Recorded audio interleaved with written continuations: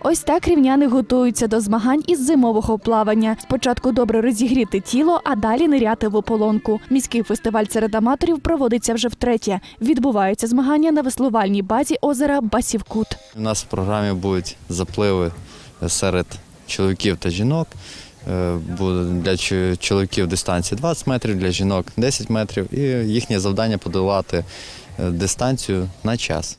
Рівнянин Володимир вже втретє бере участь у фестивалі. До змагань готується відповідально цілий рік.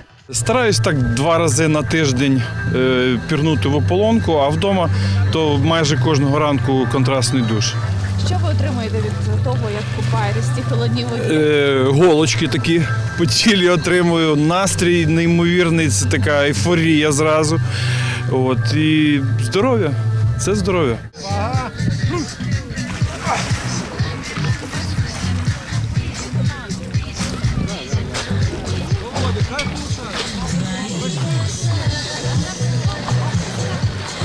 Організатори розповідають, фестиваль проводиться з метою пропаганди активного дозвілля та занять спортом. Задля безпеки до акції зимового запливу долучились представники Державної служби з надзвичайних ситуацій. На березі розгорнули мобільний навчально-консультаційний пункт та пригощали учасників теплим чаєм. Роздаємо листівки для населення з такою інформацією, як переохолодження, перепади низьких температур, обмороження, е, зимова рибалка, адже серед занурювання є любителі і е, зимового плідного лову.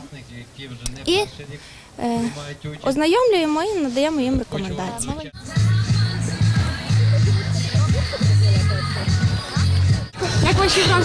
Враження чудові. Я вдруге приймаю участь, щоб перебороти себе.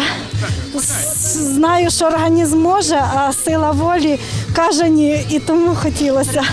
Переборола. Всього у фестивалі взяло участь 35 рівненських моржів. Переможці та призери у кожній віковій групі серед чоловіків та жінок отримали дипломи та медалі. Анастасія Фощук, Олександр Бойко. Новини Рівного.